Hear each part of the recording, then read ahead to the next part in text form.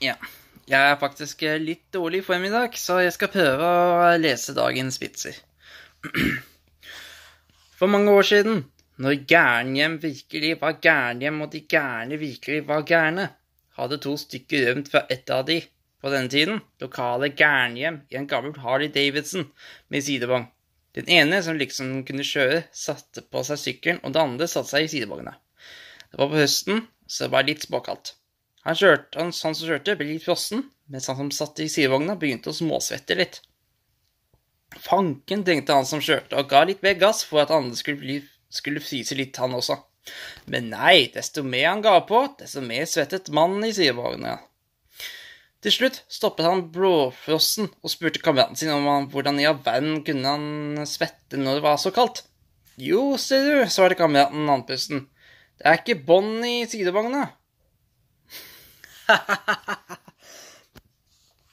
ja. Det tok jeg litt på for at eh, det er ikke noe bunn på sidevogna, så han bare løp og løp og løp og løp og løp og løp, og løp så fort som han kunne. så han ikke ble skadet på det veien. Han bare løp og løp og løp.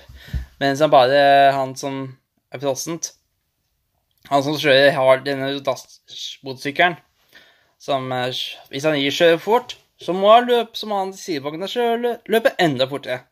Jeg klarer ikke å prate engang. Jeg er eh, tett i jeg, jeg, er lei i halsen og tett i nesa, så beklager virkelig det. Men vi får håpe det forstår det. I alle år har det vært kjent at når det er dans på lokalet, går det ofte hardt for seg, med slåssing og knivstikking. Under bryllup i Hamar for noen år tilbake havnet alle i selskapet i et voldsom krangel. Det ble brukt både knytenever og kniver. Brudgommen, som kom fra Gjøvik, var ikke den Unnskyld, var ikke det mest tilbakeholdne og brukte kniven flittig. Vår venn Sivert gikk etter kampen rundt ører fordi disse hadde brudgommen skåret av. Men like fullt gikk han rundt med en salig flir om munnen. Hva i all verden er det du flirer av da, vil du vite? Det er vel ikke så gøy med to avskårne ører? Å, pytt, dem kan jeg få sydd på at Men det er bare med stuepassen til brudgommen, for den har jeg i lomma. Ha-ha-ha! Den er bra, altså. ja Jeg tror det er litt vanskelig å forklare denne vitsen, nei, egentlig.